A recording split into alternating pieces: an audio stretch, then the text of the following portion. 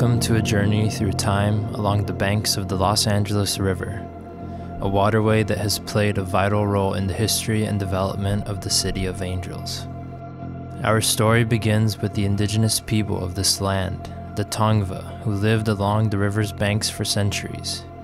They recognized the river as a life giving force, a source of sustenance, and a vital component of their daily existence. The Tongva people lived in harmony with the river's rhythms, understanding its seasonal flows and adapting to its changing moods. They skillfully rerouted the natural flow of the river to maximize agricultural yields, constructing ingenious water wheels along its banks. This resourcefulness allowed them to flourish in an otherwise arid landscape.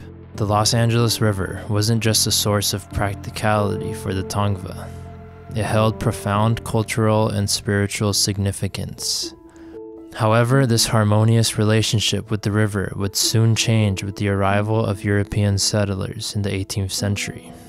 As the Spaniards made their way to this region in 1769, they encountered the Tongva people and their flourishing village of Yangna. This encounter marked the beginning of a transformative period in the history of the Los Angeles River. Eventually, the Tongva were relocated to the east side of the river, and Yangna itself would be destroyed in the mid 1800s. The river's significance evolved as European settlers began to harness its waters for their growing pueblo, which would later become the city of Los Angeles.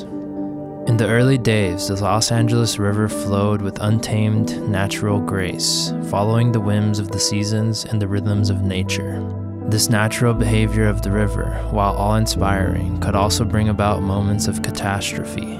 Los Angeles County is a semi arid region, receiving less than 15 inches of rain per year on average.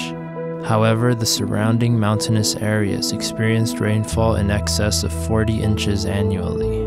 When these mountain streams converged into the Los Angeles River, it unleashed a formidable power.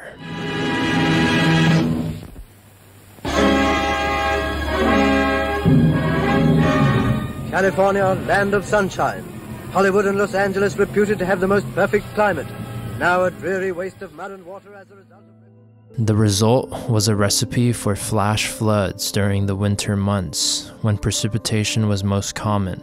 The river's rapid descent from headwater elevations of nearly 1,000 feet to zero feet above sea level in just 50 miles meant that millions of gallons of water could surge through its course in a matter of hours. Historical records bear witness to the river's fury, with a total of 17 floods recorded between 1815 and 1938. These devastating events prompted the urgent need for flood control measures. As the population in the area grew, so did the risks associated with the unpredictable nature of the river. The 1930s marked a critical turning point in the history of the Los Angeles River. In response to the recurrent flooding problems, the Los Angeles County Flood Control District was formed in 1934. Early flood control efforts included channelization projects, but the scale of the challenge required federal assistance. The Flood Control District sought federal aid through the Works Progress Administration, WPA, a government program created during the Great Depression. The WPA agreed to provide funding for dam and channel construction on the condition that 90% of laborers be hired from the agency's relief rolls. Within a year, the flood control district grew from a small team of 15 people to a workforce of 17,000, with 95% of its laborers hired from federal unemployment rolls.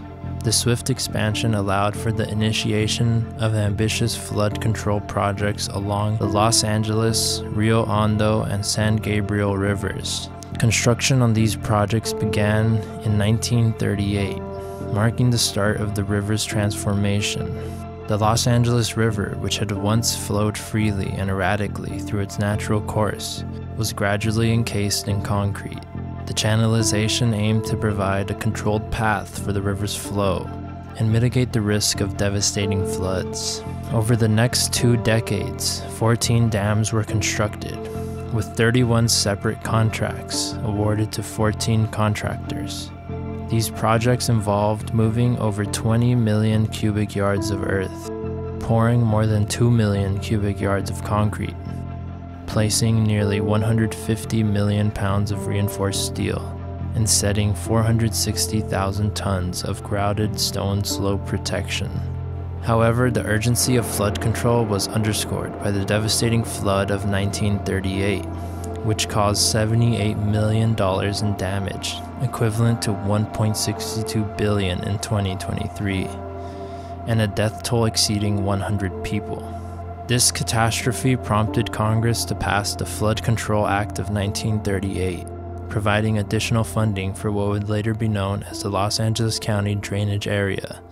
The environmental repercussions of channelization were equally profound. The transformation of the natural riverbed into a concrete trapezoidal channel in 1938 led to the extinction of native fish species that had once thrived in the Los Angeles River. The last known native species to be caught in the river was a rainbow trout in 1940 marking the end of an era for these aquatic inhabitants. The environmental impact extended beyond fish populations. Mammals such as the California golden bear and gray wolf, which once inhabited the river's ecosystem, were removed from the region in the late 19th century. The transformation of the Los Angeles River was a complex process with far reaching consequences. It not only reshaped the physical landscape, but also the social fabric of the region. As we look ahead, we are reminded of the river's historical significance. From the native Tongva communities that once thrived here, to the Spanish explorers who gave it its name. It's a living tapestry of cultures, stories, and possibilities.